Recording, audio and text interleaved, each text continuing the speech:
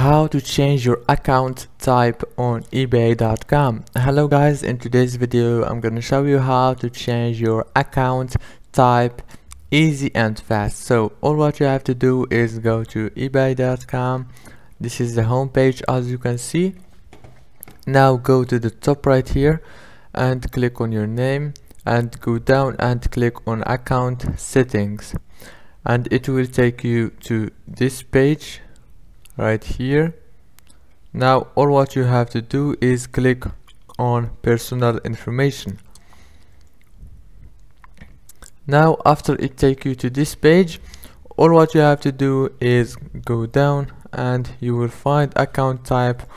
And I just changed it. That's why I can change it.